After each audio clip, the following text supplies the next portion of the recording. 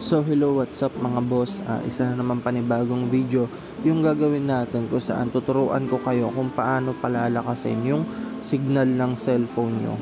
Kahit nasa tagong lugar kayo or mahina yung signal dyan sa location mo, bali malaking tulong to. Bali, no application needed dito. Yan, hindi mo kailangan mag-install ng kahit anong application para magawa mo tong tricks na to. Bali, tricks to pampalakas ng signal. Yan, kung mahina yung signal dyan sa location mo, ah, para sa'yo to. Ah, bali, pwede to sa mga ano, lalong-lalo na sa mga ah, 3G, H+, yan. Kung 4G ka, tapos mahina pa rin yung signal sa location mo, pwedeng pwede pa rin sa'yo to. So, hindi ko kasi ma-demo sa 3G na cellphone kasi wala naman akong 3G. Kaya kung makikita nyo sa signal ko, 4G siya. So, pero sundan nyo na lang tong gagawin ko kasi nga wala namang mawawala sa inyo kung susundan nyo kasi 'di ba? So, simulan na natin. Madali lang tong tricks na to. Okay? So, una, punta muna kayo ng dial. Yan.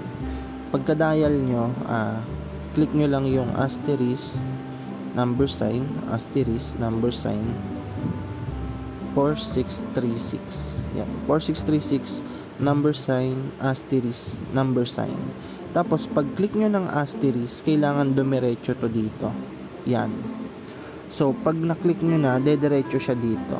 Para dun sa mga hindi gumana yung code, lalo na sa mga Bibo user, alam ko marami nagkakaproblema sa code na to. Ah, may solusyon tayo dito. Ah, hintayin nyo lang, ah, ituturo ko muna to, itong mga gumana tong code na to sa cellphone nila. Okay? So, click nyo tong ano, phone information 1. Ayan. Pag click nyo, ito yung lalabas. Okay? Tandaan ah, kahit yung cellphone mo 3G, H+, para sa'yo talaga to. Okay? Kasi yung 3G mo, magbabago yan. Ifo-force niya yung signal mo na lumakas, tapos magiging 4G yan. Okay? So, eto. Wait lang ha, baba lang natin. Click nyo to. Eto. Yan. Pag click nyo yan, makikita nyo tong LTE only. Yan. I-click nyo yan. Magiging 4G yung signal nyo. Kahit 3G lang yung signal nyo. Kahit H plus lang yan. Pag clinic nyo to, magiging 4G yung signal nyo. Lalakas yung signal nyo. Promise yan.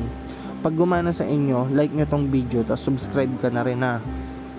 So, so ito naman, para dun sa mga hindi gumana yung code. Halimbawa, etong code na binigay ko, hindi gumana sa cellphone mo, lalo kung Vivo user ka, ayan. Ito naman yung tricks na ituturo ko para sa'yo. Pareho lang siya, kaso kailangan mo mag kailangan mo mag-install ng apps. Pero parehong pareho lang siya.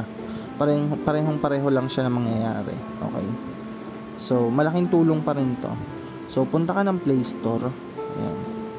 Ito yung ginawa ko sa kaibigan ko na problemadong problemado sa ano niya, sa cellphone niya. Kasi sobrang hina daw ng ano, ng signal niya dito sa lugar namin. Kasi Rizal medyo sabi nga nila, bundok. Yan. Ito lang yung ginawa ko sa kanya. Tapos yun, nakapag-ML na siya ng matino ngayon. Ayun, todo pasalamat. So, ito, type mo lang dito, force LTE. Ayan. Kapag ka hindi gumana yung code sa inyo, ito, install nyo lang to. Once na in-install nyo to, parehong pareho yung mangyayari. Mapupunta din kayo dun sa ganong setup. Tapos, piliin nyo lang yung LTE only. Yan.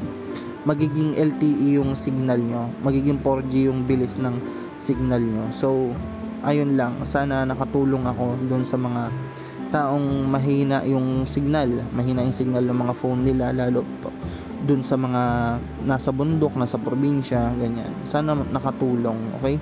So, ayun lang mga boss. Sana nagustuhan nyo tong video na to. Tapos kung gumana sa inyo, ah, like nyo na rin tong video na to. Tapos comment ka. Kung may problema, sasagutin kita sa comment section, okay? So, ayun lang. Maraming maraming salamat sa panonood. Ah, keep safe. Tapos, huwag maglalabas masyado ng bahay.